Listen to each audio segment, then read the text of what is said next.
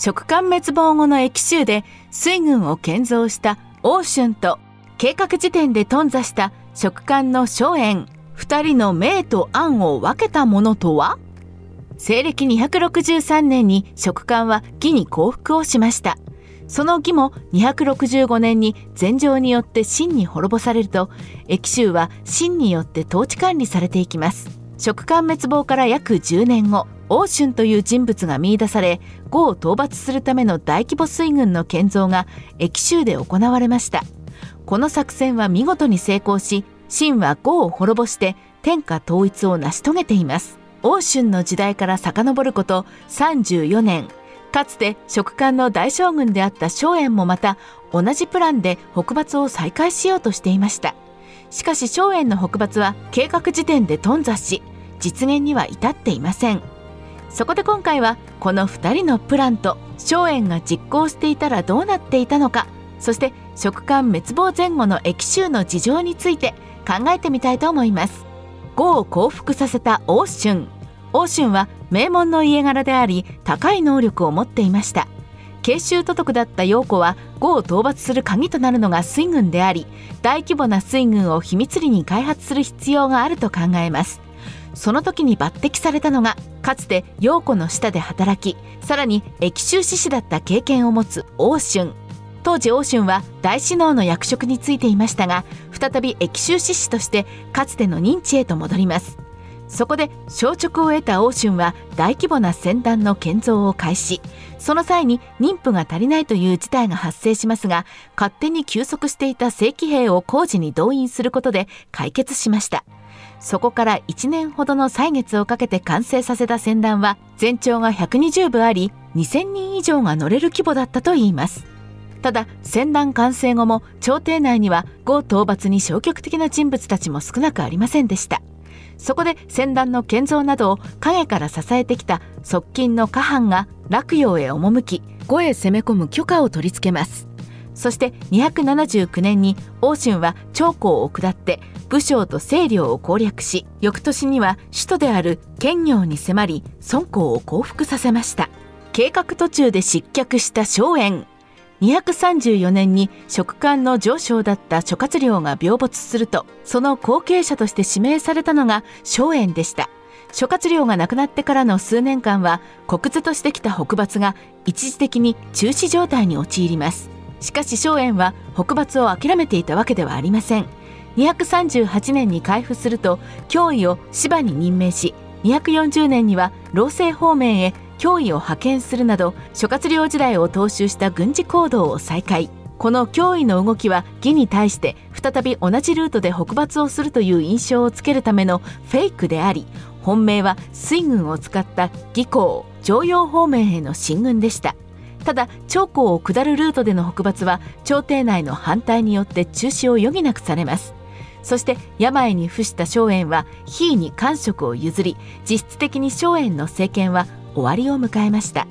筆者は北伐反対派の中心にいたヒーが何らかの方法で荘園を失脚させたと考えています。いずれにしても荘園の水軍による軍事行動は実行されないまま頓挫しました。欧春と荘園の計画を比較。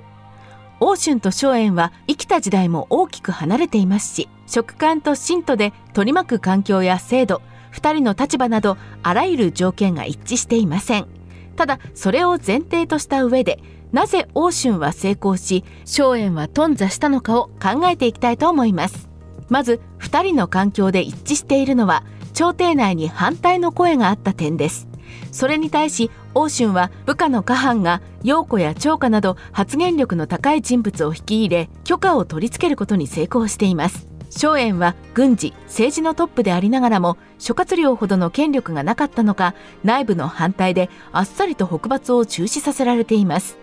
脅威がトップとなった時には少書令の陳氏が賛同してくれたので脅威は軍事行動が可能でした。つまり荘園の失敗は政権内部の人脈構築がうまくいっていなかったためと言えます。仮に少書府に発言権のある味方がいれば北伐ができた可能性はあります。荘園の北伐ルートの成功率は？荘園の北伐が反対されたのは上流からであれば攻める時は有利であるもののひとたび敗走すると川を遡上する関係で被害が大きくなる可能性が高いためでした。そのため奇襲による一撃必殺が求められていましたが欧春の例を見ると荘園の動きは読まれていた可能性があります。欧春は大量の船を作る際に木くずが大量に発生し長江の色を変えるほどでした。そのため後にも水軍による侵攻が露呈してしまい途中に鎖を設置されるなど対策をされています。荘園は同盟相手である呉に対しても常陽方面への侵攻を相談していませんでした。しかし芝居は241年に発生した釈秘の駅において主膳が囲む繁盛へ自ら馳せ参じています。当時の芝居は曹操によって名誉職である大夫にされていて平権こそ取り上げられていなかったものの半ば引退同然の状態でした。そんな芝居がわざわざ主膳を追い払うためだけに出向いているのは荘園への備えだったのかもしれません。かつて諸葛亮も第一次北伐の際に常陽の毛達を離反させて常陽方面と喜山方面の2面から義へ進軍しようと計画していましたがこれを読んだ芝居の迅速な対処によって毛達は撃たれています。こうした経験から芝居独自の嗅覚がそれを察知した可能性はあります。なので芝居あるいは義に読まれていたのであれば荘園の北伐は失敗に終わった可能性が高いですし予想された通り甚大な被害を出したはずです。駅州は人材不足だったのか。そもそも諸葛亮が軍事と政治を一人で背負っていたように食官政権時代の駅州は深刻な人材不足でした。荘園時代も同様で北伐を支えられる土壌があれば反対派の意見もそこまでは通らなかったはずです。欧春はというとすでに駅州が真の領土になってから10年以上の年月が経過していましたしたびたび名前が挙がっている下藩が政治面を大きく支えていました。例えば船を建造する材料が不足した時に墳墓に植えられていた松や柏といった木を市場で買い取るという方法で市場を潤わせつつ材料を調達しています。他にも反対派を抑え込んで芝園を説得もしているなどです。ただこの下藩はもともと職官の管理であり秦に仕えてから大成した人物といえます。他にも皮氏の息子である比率も下藩によって秦に仕え皇帝の側近である三期成寺にまで出世していますし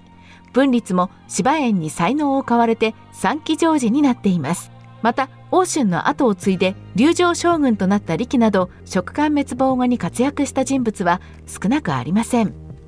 三国志ライター DK の独り言。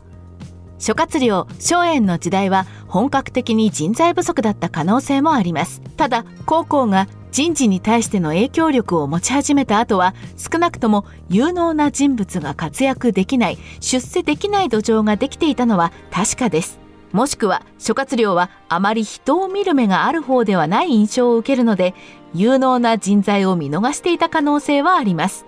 そういった違いが荘園と欧春の食感と真の明暗を分けたのかもしれません。